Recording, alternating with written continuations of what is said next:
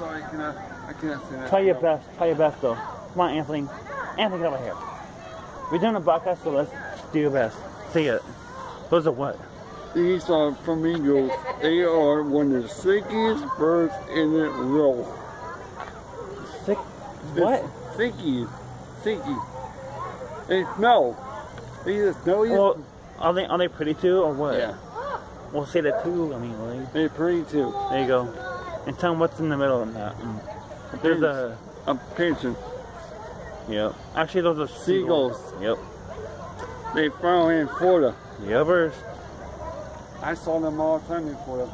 Yep. Wow, man, so cool. Man, that's too bad the tigers, man. Dude, if the if that place was open, I would have like podcast. I'm like, dang it. Oh, yeah. By the way, guys, the tigers' habitat are closed. I don't know why, because they probably need a. You got dipping dots. Holy, what? Well, let's let's let's let's, let's concentrate our actual food, okay? First, okay? Which one you want to do?